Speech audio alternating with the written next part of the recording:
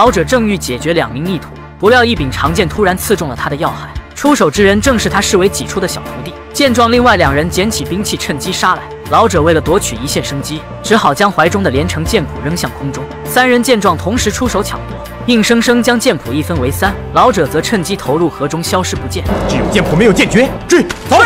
为了得到剑诀，三人立时来到河边寻找。然而他们翻找数遍，都不曾有任何发现。大哥，要我说就别找了。刚才三弟那一剑已经刺中要害了，都半个时辰了，他必死无疑啊。剑诀还在他手上啊！老三七长发认为师傅平日里并未翻阅其他书籍，或许剑诀就藏在剑谱之内。其余二人认为此话有理，便放弃寻找，就此离去。三人是师夺宝的一幕，皆被船上的丁点看得一清二楚。心怀侠义的他拿起竹竿，想将老者打捞上来。公子，别捞了，尸体早就顺流而下了。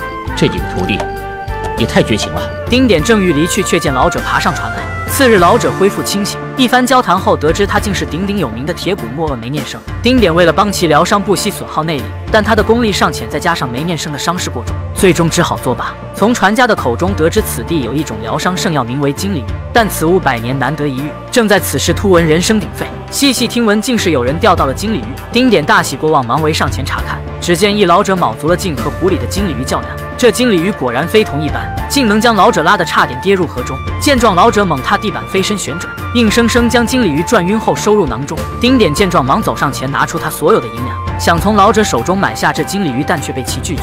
我船里有位老人，命在旦夕，急需要金鲤鱼入药，万望老人家相助啊！这人是你的父亲？不是，我们萍水相逢，非亲非故，你为什么要这么做呀？因为他是一个侠义之人，丁点的所作所为令老者感到钦佩，当即分文不取，将金鲤鱼相赠。虽然有着金鲤鱼入药，但梅念生大限将至。这几天的接触下，他知道丁点的心性淳朴善良，于是将绝世内功心法神照经送给了他。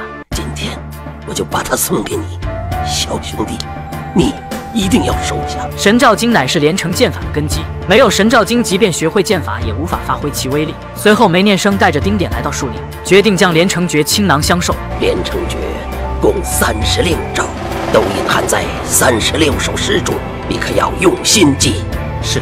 说罢，梅念生挥动长剑，化作漫天剑影，将连城剑法悉数施展，最终在半空中凝聚出几串数字，而这正是破解连城诀宝藏的钥匙。小兄弟，拜托了。魏大侠。